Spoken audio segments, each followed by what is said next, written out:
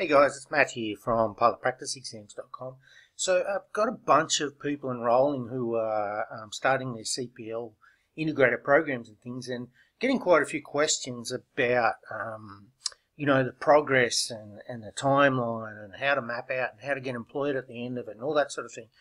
And I thought I might throw together a quick video. Now I used to um, be a teacher, as many of you know, and part of my passion in teaching was um, obviously the PE side of things, and I had quite a few good athletes, including two players that went on to play NRL, Albert Kelly and Aiden Tolman, and this is a, a strategy that I went through them with in year nine, and basically what I did.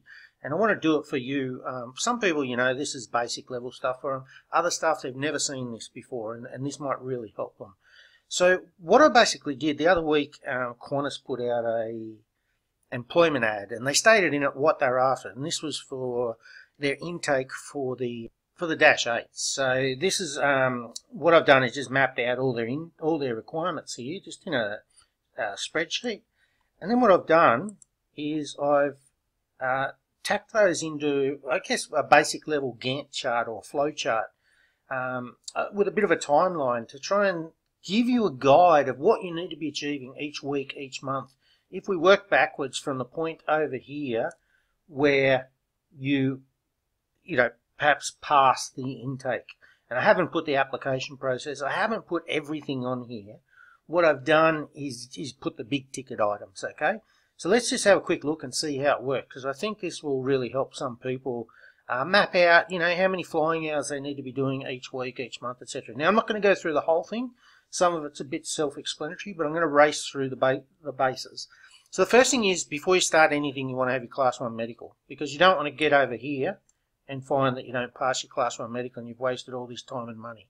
So you need to do that back at the start, and over here, Qantas are probably going to want a fresh one, and your Class 1 medical is going to be roughly expired anyway around that point in time. So um, you want to try and time those as best you can. The second thing is the RAARPL, depending on which way you start, is going to take around about three months to get to the level where you can start your PPL. Now, what does that look like? Well, for to get to say 35 flight hours, some people will be a bit more, some will be a bit less. Um, it's going to be three hours a week if you do it over three months, 4.5 hours flying per week if you do it over two months, and 10 hours flying per week to do it in one month. Okay, so depending on how keen you are and how much of a hurry you're in and what you can afford and in terms of time and cost, you can use these different numbers here to map out and those that represents uh, six months and that represents five months and four months. So I've, I've sort of just color coded the boxes to give you a bit of a, a, a timeline. You know, uh, here for example, the CPL exams, if you do one exam per month, that's how long it stretches out, you know, to your uh, so there's seven exams, seven months, and then you spend a month spending sending out resumes, etc. So let's just continue through this flow up here. And sorry about the banging in the background. Some genius uh, in our apartment building has decided uh, Boxing Day was a great day to do some renovations. So, um, righto. So the, you need to pass your level 6 English as well. You do that around about there. You need to get your ASIC card. Your PPL is going to take about one to three months. Again, here's the breakdown of the flying hours. Now, you only need 20 odd hours in addition to your RPL.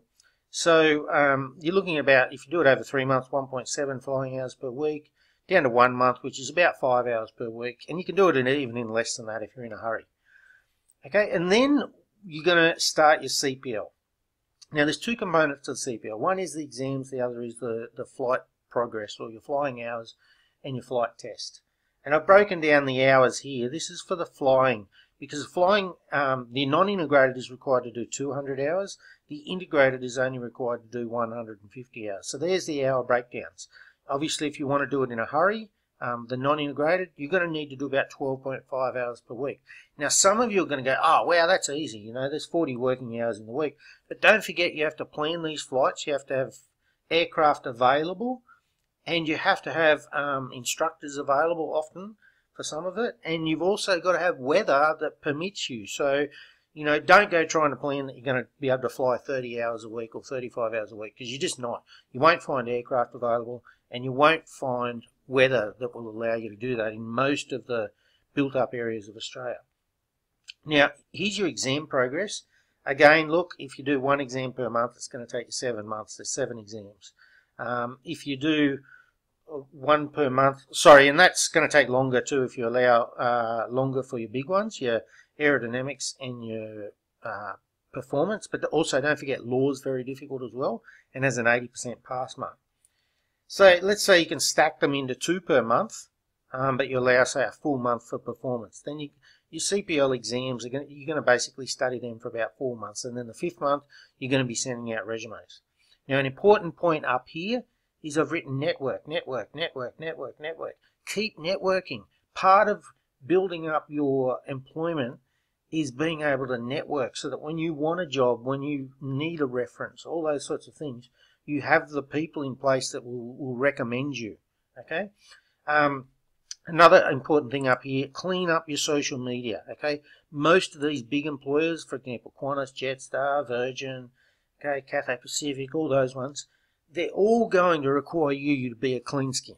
Okay. If you're the type of person that's got all these political rants and things like that on Facebook, um, well, sorry, mate, but when they go digging through your Facebook, you know, you're not going to come out with a clean skin, and they're not going to want you on because they they make it very clear back here in their advertising.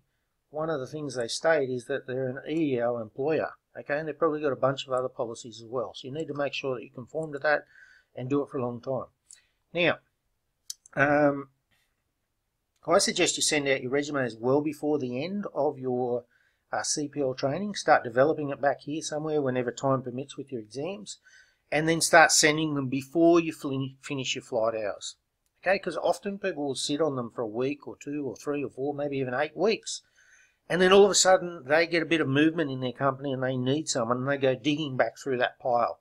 So, you know, you don't want to be sending them out the week that you're looking for employment. You want them to be out there on the desks well and truly before that.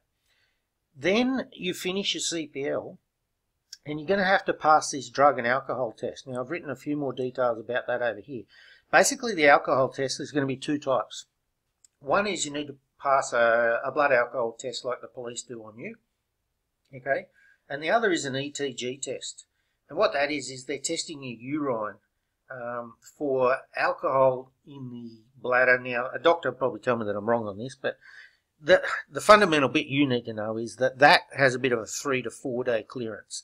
And so you don't want to drink basically inside three to four days and preferably inside a week before you think you're going to get screened because you just, you know, you don't want a positive result uh, going on your record and ruining your reputation with that airline forever.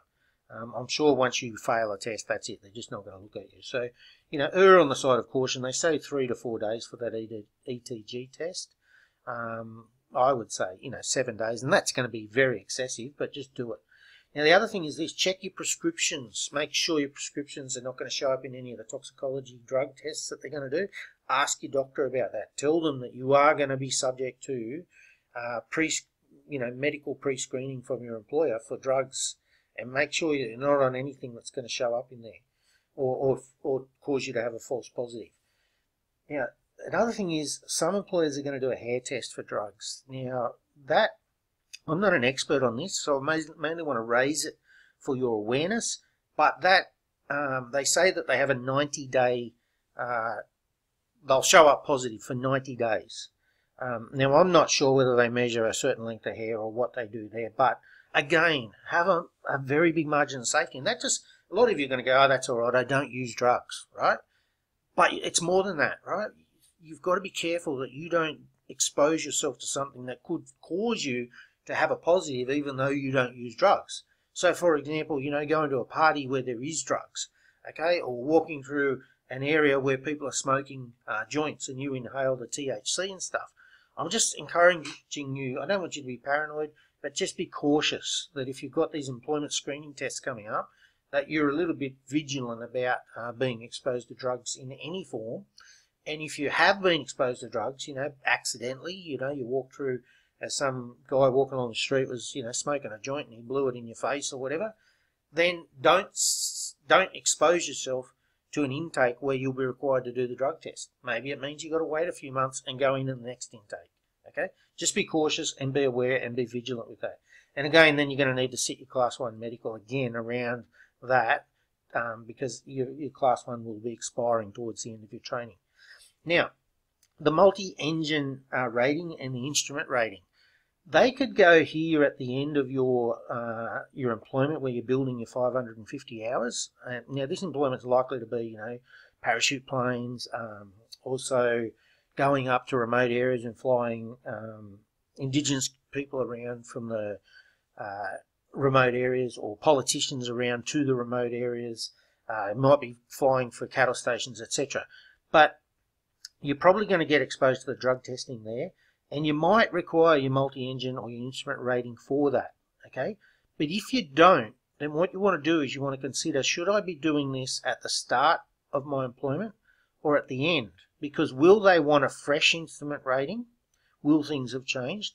And if I go into employment where I'm not using these, will I be non-current and then I'm going to have to pay to renew them? So that's just a consideration um, about, you know, a consideration on on when you do that. Now, the only thing you've got to be aware of though is the hours that Qantas require, I've stipulated in there, they want multi-engine and they want instruments. So you're probably going to have to bring that forward into there somewhere, probably around the halfway point at a minimum anyway.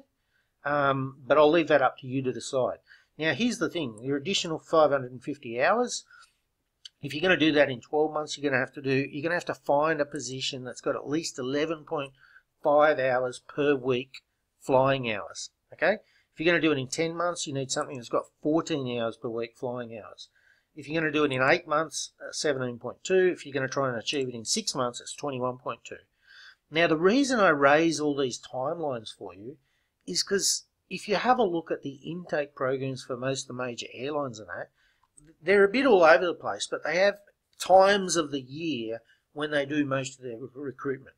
Okay, so they'll open up a lot of their recruitment at the end of a year, ready for the start of the next year, because they're doing all their scheduling, they're doing all their intake. Um, if they want you to enroll in certain uh, classes or courses, often they'll start at the end of the year, etc.